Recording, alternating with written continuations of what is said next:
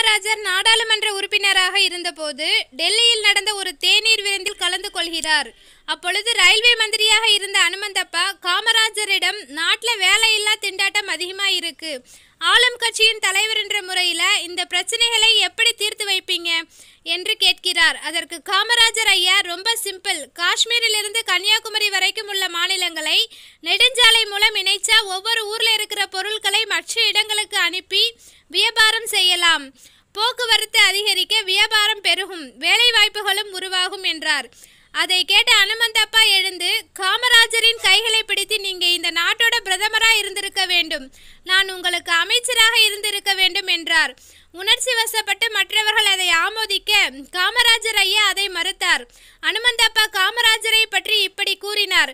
நீங்கள் இந்த நாட்டின் விலை மதிக்க முடியாத சொத்து என்று காமராஜர் மற்றும் பிரதமராக ஆகிய